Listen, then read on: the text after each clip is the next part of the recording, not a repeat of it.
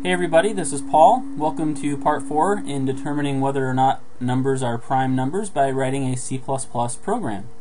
So in this function that we're continuing to write here, um, basically we're, we're writing this function that's going to list all the prime numbers from some starting number to some stopping number.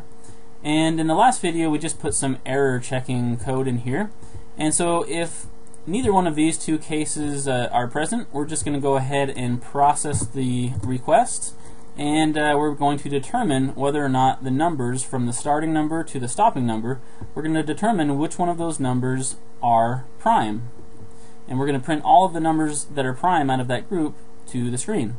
So what we're going to do first, I guess we probably should create a new variable and we're going to call this one, it's going to be a boolean variable and we're going to call it prime. And what we're going to do is we're basically just going to store a true or false value inside of this uh, prime variable. So it's a boolean variable, which means it can hold either a true or a false value. And so what we're going to do is we're just going to create a for loop down here, and we're going to test all of these numbers from the starting number to the stopping number, and we're going to test to see if they're prime, and if they are, we're just going to print them to the screen. So what we're going to do is we're just going to say create a new integer, name it i, and set it equal to the start value to begin with. And then every time we go through the for loop, we need to satisfy some condition. So the condition we're going to satisfy is we're just going to make sure that the value that's held in the variable i is less than or equal to the stop value. And every time we go through the for loop, we're just going to add 1 to whatever value is stored in i.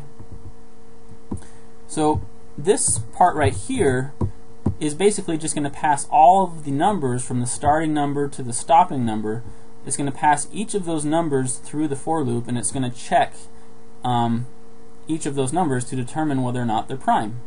So the first thing we're going to do is we're going to assume that uh, each of those numbers is prime to begin with. And then below that, we're just going to put some logic in here to determine uh, whether or not they really are prime. So we're going to assume they are, and then we're just going to say, we're going to do another for loop here, and then we're going to create another variable, an integer variable called j, and that's going to be set equal to 2 at the beginning, and then we're going to check to see if j is less than or equal to the square root of i, which is going to be the number that we're looking at here uh, to see if it's prime. So i is going to be the the number in question. Is i prime? And at the end of that for loop, we're just going to increment or add 1 to the value that's stored in the j variable. So then, so basically what's happening is this for loop right here, we're passing all the numbers from the starting number to the stopping number through this overall for loop. And then for each of those cases, we're going to basically divide each of those numbers by 2 all the way up through the square root of the number that we're looking at. And if any of those cases produce a remainder of 0, then we know that the number is not prime. So basically what we're going to say now is we're going to say if i percent j double equals 0, so this is the case where you take i, which is the number that we're considering, is it prime or not, if that divided by j, and j can go from 2 all the way up to the square root of the number we're looking at, if any of those produce a remainder of 0 is what this statement is saying. If that's the case, then we're going to say that our number isn't prime. So prime is false. And that pretty much takes care of the logic. So then basically once we're done with that, we just need to know whether or not we want to print uh, print i to the screen, the number we're looking at. So what we're going to do is outside of this for loop now where we've checked all the values, we're going to say, okay, now at this point, if prime is still true, so if prime is still true now, now that it's gone through this little test right here, then we're just going to print its value to the screen. So we're going to print i to the screen, and then we'll just go ahead and print a space afterwards. So we're printing the number to the screen if it is prime, and then we're going to print a space.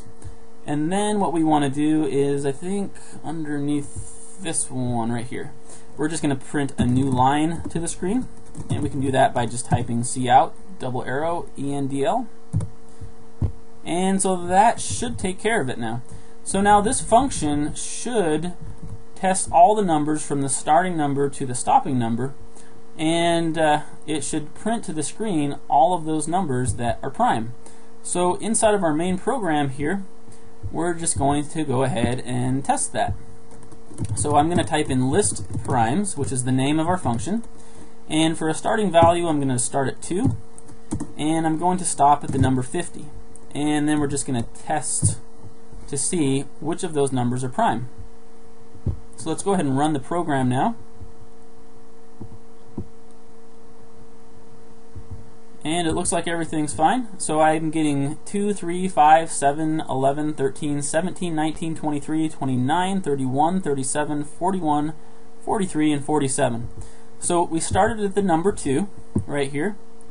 Started at the number 2 and we looked all the way up to the number 50 and then our program just went through all those numbers and printed off all of those numbers in that uh, overall set of numbers that we uh, that overall range basically from 2 to 50 that were prime. So we could change uh, the inputs here. We could test to see maybe we want to see all the prime numbers between 50 or starting at 50 to 100 and we can go ahead and run that program and see what happens. So now we have a list of all the prime numbers from 50 to 100. So 53, 59, 61, 67, 71, 73, 79, 83, 89, and 97. So anyway, you could actually modify this code if you wanted to and uh, you know do a little bit of formatting to it and you could actually just print off if you really wanted to all the prime numbers from 2 to a million if you wanted to. So anyway, that's basically uh, that's basically how you would uh, determine whether or not a number is a prime number by writing a C++ program. And we basically did this just by using some basic math um, math knowledge here.